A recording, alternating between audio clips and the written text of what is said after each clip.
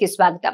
మండపేట పట్టణం కొండపల్లి వారి వీధిలో వెంచేసి ఉన్న శ్రీ మహాగణపతి శ్రీ దుర్గమ్మ అమ్మవారి ఆలయంలో దేవి శరణవరాత్రి ఉత్సవాలు ఏడవ రోజు సాయంత్రం అమ్మవారిని ఎమ్మెల్యే వేగుళ్ళ జోగేశ్వరరావు మాజీ మున్సిపల్ చైర్మన్ చుండ్రు శ్రీవర ప్రకాష్ అమ్మవారిని దర్శించుకుని పూజలు చేశారు. వీరిచే ఆలయ పూజారి కమిటీ సభ్యుల ఆధ్వర్యంలో ఏర్పాటు చేసిన అఖండ దీపార్చన ప్రారంభించారు. అనంతరం వారిని ఆలయ మర్యాదలతో సత్కరించారు.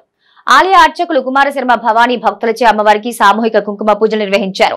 అమ్మవారిని దర్శించుకున్న ఎమ్మెల్యే వేగుళ్ళ జోగేశ్వరరావు మాజీ మున్సిపల్ చైర్మన్ చుండ్రు శ్రీవర ప్రకాష్ పట్టణ టీడీపీ అధ్యక్షులు ఉంగరాల రాంబాబు ఆలయ కమిటీ సభ్యులతో కలిసి ఆలయ ఆవరణలో ఏర్పాటు చేసిన అఖండ దీపార్చనను వీరు ఆలయంలో ప్రత్యేక పూజలు చేసిన అనంతరం ప్రారంభించారు. ఈ కార్యక్రమంలో ఆలయ గౌరవ అధ్యక్షులు నిమ్మలపూడి రామన్న చౌదరి గుణపరెడ్డి చిన్న కమిటీ సభ్యులు నిమ్మలపూడి వినాయకరావు అప్పసాని శ్రీనివాస్ నిమ్మలపూడి రామరాజ్ చౌదరి ముత్యాల మెహర్ సుబ్బారావు కొప్పిరెడ్డి కృష్ణ కోనె పెద్దకాపు మోటుపల్లి వీరబాబు వంగ సత్తిబాబు సాధనాల శివ భగవాన్ వంగ పెద్దబ్బాయి తదితరులు పాల్గొన్నారు.